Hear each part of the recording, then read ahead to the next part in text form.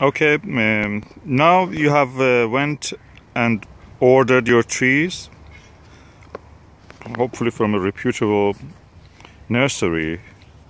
This one is from the keeper's nursery. As they arrive, they're wrapped and packed with the straw around them to keep it moist and warm and free from frost and wrapped also in another layer of the plastic. So this must be around seven or eight trees that I've ordered.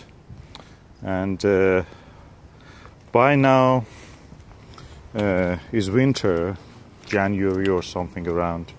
Today is the January of 9 9th of January 2016 so practically is the right time to plant a tree from now up to the March or April depending on the temperatures. You can plant your trees you receive it in such a condition uh, protected from the frost and everything and uh, you then go to plant it